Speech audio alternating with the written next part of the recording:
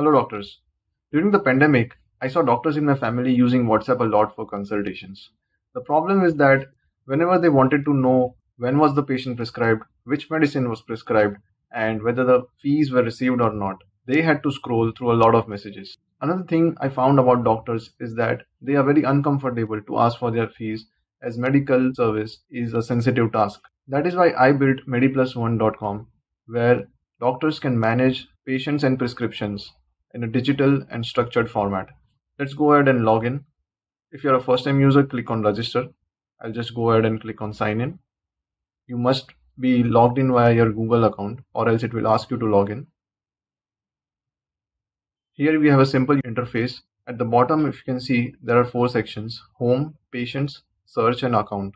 The first time you sign in or register, you'll be taken to the account page wherein you need to fill out all the details about your clinic or medical center. You can also add a Paytm, UPI or GPay linked mobile number, your qualifications and your medical center logo. Let's go ahead and click on home. Here we have a simple section of search wherein you can enter the name or the mobile number of the patient.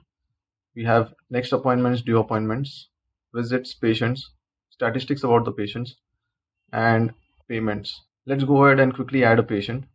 Here we have two options to add contacts via Google Contacts or you can do it manually. We can even add a patient if they do not have a mobile phone, for example, a child. And for that, we need to first enter the parent's mobile number and create them as a patient.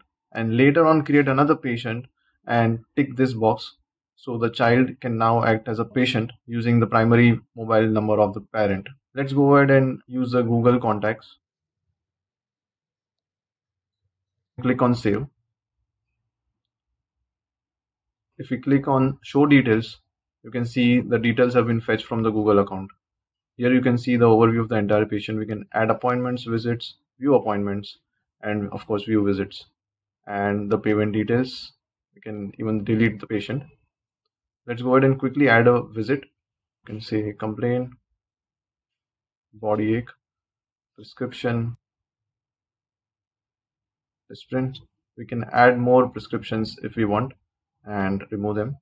These are personal comments if you want to add some. Description medicine amount. We can add another one for consultation.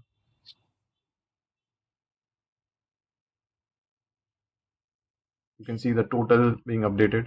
We have two options to display the fees the first one of course will show only the fee on the prescription. The second one will show the fees as well as your upi details requesting payment from the patient.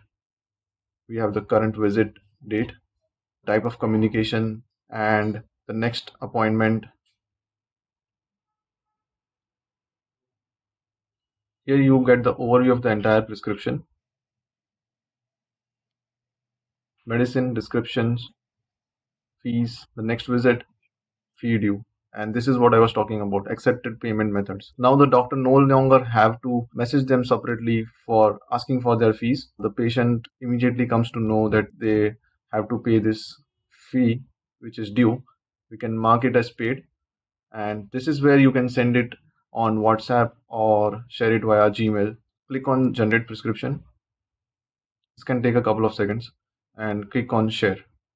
An image has already been generated and this is how it looks.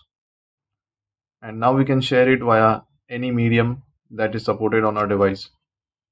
Coming back to our home page we can also now see there is one entry in the next appointments which we recently entered.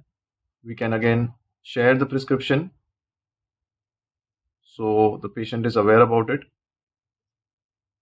We can also edit the entry.